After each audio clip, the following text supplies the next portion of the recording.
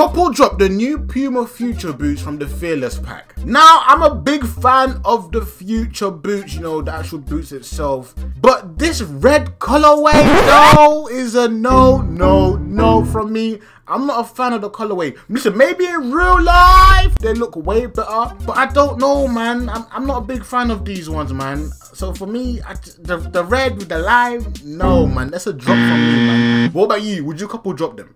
Couple drop the Puma Ultras from the Fearless pack. Now, I've never really been a fan of Ultras, Puma Ultras especially, man. Um, the red color, I've said this for the same thing about the um, futures.